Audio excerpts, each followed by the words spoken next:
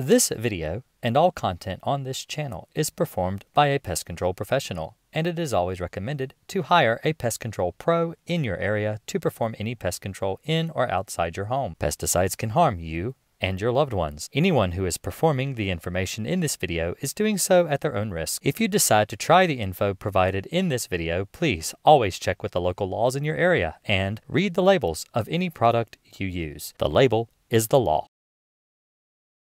Hey everybody, this is Jason Akers again with Green Akers Pest Control. And today we're going to go over how often you should treat for bed bugs to be effective in eliminating your bed bug infestation. If you like this video, give me a thumbs up. If you really like it, consider subscribing to my channel. And so let's get on with the question. So I get asked all the time, uh, how do I know the bed bugs are gone? How often should I spray for bed bugs? Uh, how often should I use Crossfire for bed bugs? How often uh, should I treat? Should I treat every week? Should I treat twice a week? Should I treat once a month? How often do I need to treat to be effective at getting rid of bed bugs? Because, well, this is what I do for a living, is pest control. I've been doing bed bug work for over 20 years. I've been doing pest control work for over 30 years. And so I've got a lot of experience getting rid of all kinds of bugs. And bed bugs, especially recently, have made a surge and have caused a lot of people a lot of anguish, a lot of problems. And so uh, that's what we're going to go over today. So, um, really, to answer this question, you have to understand how pesticides work, how they eliminate bed bugs, and how uh, they affect the bed bug. So, a bed bug crawls through a chemical. You know, they have to crawl through an active residue. So, what is a residue? All right, if you use rubbing alcohol to kill bed bugs, the alcohol will evaporate and will no longer kill anything. There's no residue left behind. Uh, if you use diatomaceous earth to kill bed bugs, the residue stays around forever. It's a dust, it, uh, and it affects the bed bug in that way. Uh, if you use a pesticide residual, which that's what we're going to call it, the residue is a residual. Uh, if we use a pesticide residual, pesticides break down over time. So, how long do pesticides? How long are they effective? You know, that's the question. Because uh, if your pesticide is only effective for about seven to ten days, then you need to retreat every seven to ten days. If your pesticide is effective for 30 days, then you only need to treat once a month. So, this is how I judge how I should sell my pest control business as far as the services I provide. Um, so if a customer has a bed bug problem and my pesticide is labeled for once every other week, basically once every 10 to 14 days, then I need to treat once every other week. But I don't like to do that. I feel like that's not effective. I feel like that that's that's too much work on the customer. Every time I call the customer, the customer has to get ready for me. They have to pull all the beds out. They have to pull all the sheets and stuff off of their comforters. All their all this stuff has to be pulled off the bed and laundered and washed every two weeks. And that's a lot of work on the customer. And it's frustration, it's irritation. And if it takes you three or four, maybe five visits to get rid of the bed bug problem, that's just irritating. That it, it aggravates them, it makes them feel like you'll never get rid of their problem. And it's just not an effective way to get rid of a bed bug issue. It's not uh, it's not fun. You know, no bed bugs aren't fun, but it's it's pretty miserable. It, it, it really adds a lot of misery to the problem that they already have. So, uh, I what pesticide do I use to get rid of bed bugs? The pesticide I use. Oh, and I want to drop right here real quick. I did mention diatomaceous earth back there. Uh, just because it lasts forever, don't use it. It's very, very toxic to your lungs. If you breathe that stuff in, it can cause things like emphysema, asthma, COPD, all kinds of respiratory issues. Don't use that stuff, really don't. It's not safe, whether it's pool grade or food grade, it doesn't matter. They're both harmful to humans, they're harmful to pets. They're not good to use on your pets, they're not good to use in your home around your person where you're going to be breathing them in. Don't don't use them. But anyway, the pesticides that I use to get rid of bed bugs are Crossfire. Crossfire is the most effective pesticide that I have used in the past 20 years of dealing with bed bugs. It is a non repellent pesticide, and the bed bugs crawl through it and they die. what non-repellency means. So there's there's several different types of pesticides you can get. There's a uh, but they all fall under typically two categories: repellent, which means get away from me, or non-repellent, which means I'm not even here, crawl all over me. All right. So if you have a non-repellent pesticide, the bed bugs don't see the chemical. They don't know what it is. They don't know where it is. They don't even know that it's been applied. And the reason that non repellency is more effective than repellency is because bed bugs can live about 10 to 18 months without a blood meal. So that's a long time to go without food. And there's no pesticide that I know of on the market that you could treat your you know, living room furniture, your bedroom furniture, your baseboards, your crown molding, all the places that bed bugs hide. There is no pesticide on the market that's going to last for 10 to 18 months until the bed bug decides they're just going to starve to death. You know, basically what you're doing is you're putting up a repellent barrier that the bed bugs can't crawl over and they're not going to crawl over. They're going to avoid it. They're not going to come into the room and then they'll just wait until that pesticide is no longer effective then they'll crawl out and they'll crawl through it. But um, and it won't kill them because it's no longer effective. So the reason you want to use a non-repellent pesticide, and some of these include Apprehend, uh, Crossfire, uh. These are pesticides that are considered non-repellent. Alpine WSG is also non-repellent. The bed bug does not see the chemical for what it is. They don't even know it's there. So, if you treat the areas that the bed bugs, you know the bed bugs are going to crawl through, then they don't know the chemical's there. They'll crawl through the chemical and they die. So the way that Crossfire is labeled, and the reason I recommend Crossfire is because I haven't noticed any resistance to Crossfire.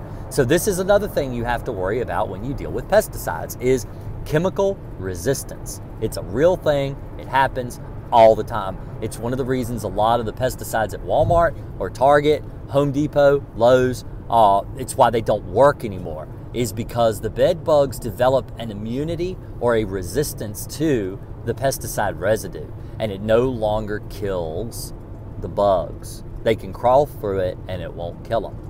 Crossfire, in my experience, has not had this issue. So you can use it, it still kills bed bugs. It kills them within five minutes of, of contact with a wet spray. If you spray them wet, they die within five minutes. That's pretty good. Um, and once it's dry, it takes an hour or two for a bed bug to die after crawling through the residue, but they die. Even though it's dry, they still die.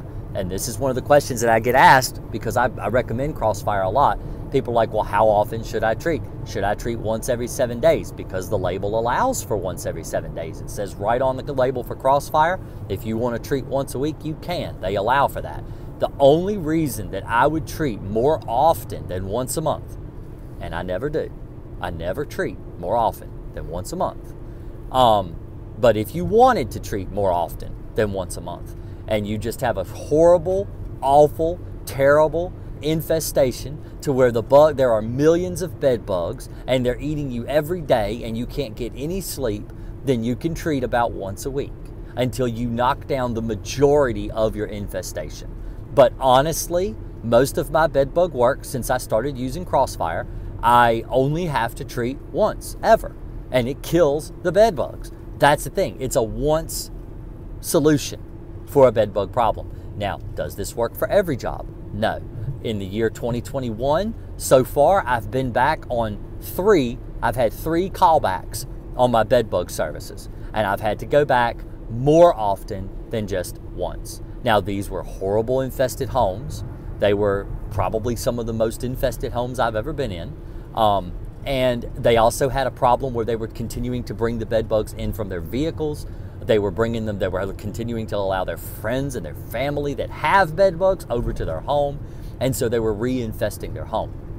And this is typical of a bed bug problem. If you do not know where your bed bugs are coming from, if you don't know how you got them in the first place, then the bed bugs will travel on friends and family. They will continue to come into your home. You really need to try to narrow down how you got these dang things in the first place because that's the thing. You got to understand that so that you can cut that off and stop that bed bug flow into your home.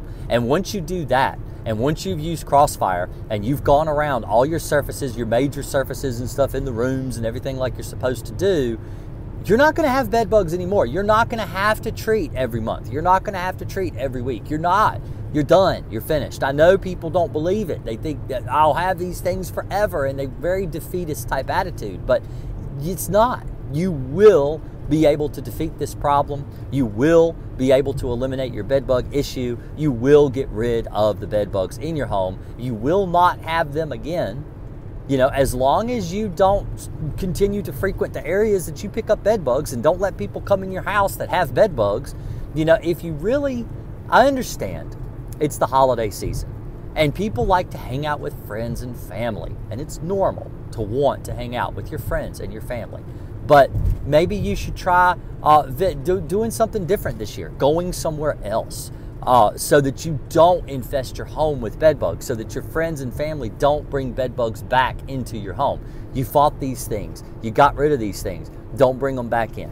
So, and, and, inform your friends and family. Say, hey, you know, if you've got this problem, why don't you go watch Jason at Green Akers Pest Control? He teaches people how to kill them. I do. I don't mind. I don't make any money off of this. You know, this is not my job.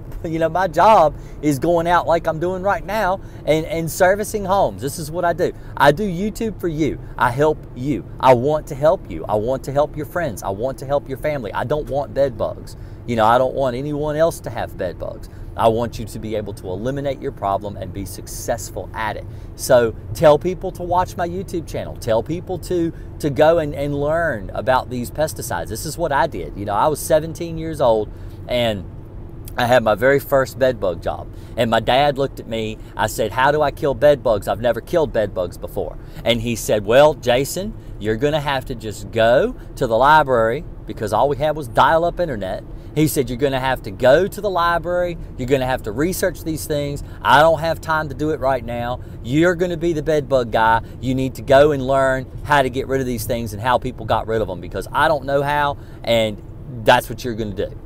And so that's what I've done for years. I have researched, I have learned. Uh, I still research every day.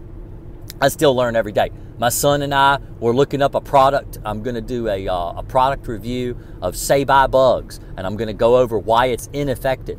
I've got that video coming up soon. So be sure to subscribe and like to the channel, follow the channel, hit the notification bell up in the corner so that you can get my videos when they come out. So you'll get that little notification. Also, Thursday nights, I go live every Thursday night after 9 o'clock. If you have a question you want to ask me specifically, then show up and call me. I have a phone number that I have listed on my live streams. That's not my regular business line, it's a Skype phone number that you can call me live and you can ask me questions. You can actually specifically formulate your question exactly the way you want it. And you can talk to me and you can you can sit down and say, and I'll talk to you. I'll talk to you as long as it takes to get your question asked. I don't care how long it takes to get your question asked. I will talk to you on the phone and I will fix your issue every Thursday night after nine o'clock. And the reason it's so late because I'm Eastern time. The reason it's so late is because my, my kids, I've got uh, four children, and I try to put my kids to bed before I get on the live stream so there's not a bunch of racket and ruckus going on because I got some wild children and they like to run around and play like kids do. And so I usually put them in bed around 9 or so, read them their bedtime story, and then I get on the computer around 9:30, sit down and talk with you guys about bugs. And you don't have to if it's not bed bugs that are bothering you, maybe it's cockroaches, maybe it's fleas, maybe it's spiders, maybe it's ants. You know, come on, ask me a question. Maybe you just want to ask me about my new baby that was born because he's uh, eight weeks old. You know, you know, I'm pretty open to anything. So Hopefully this video has helped you and explained to you how to get rid of your bed bug problem and I will be talking to you in the future. Trust me, every Tuesdays I upload my videos, every Thursdays I do my live streams. So uh, y'all have a real good day, real great time wherever you are, whatever you're doing. I just hope you're enjoying life. Y'all have a great one and I'll see you next year. Bye.